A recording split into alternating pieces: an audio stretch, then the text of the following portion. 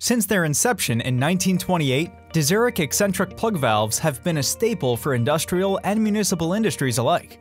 The rectangular ported eccentric plug valve is versatile, making it suitable for a wide range of applications, including handling clean and dirty liquids, sludge, slurries, and gases.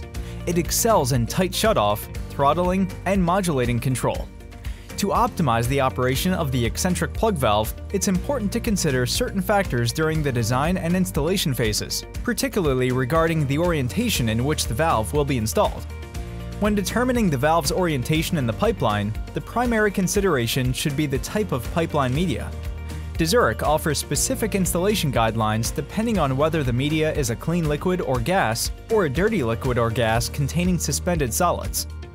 If the pipeline media is a liquid without suspended solids, or it's a clean gas, DeZURIK suggests that the valve be oriented to have the flow toward the backside of the plug. This is true for both vertical and horizontal installations.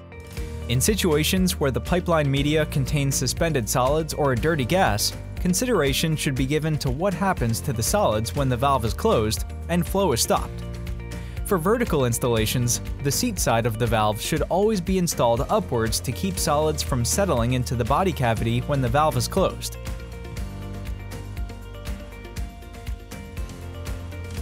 For horizontal installations, the valve should be positioned so that the flow is against the plug face, when the valve is shut, solids will not settle inside the valve.